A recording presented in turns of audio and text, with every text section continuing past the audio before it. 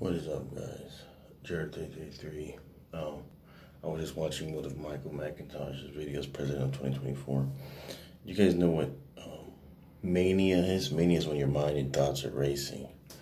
Um, this guy, Michael McIntosh, President of 2024, has a calming effect on my mind, which would be others people's minds as well.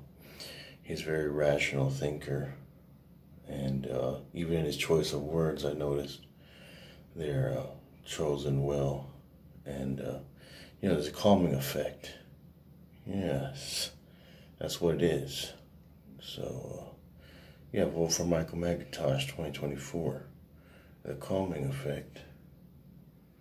Very kind. There's there's some other feeling that I hmm, that it's uh, maybe kind of euphoric for me, but anyways, like, subscribe, and share, links in the description.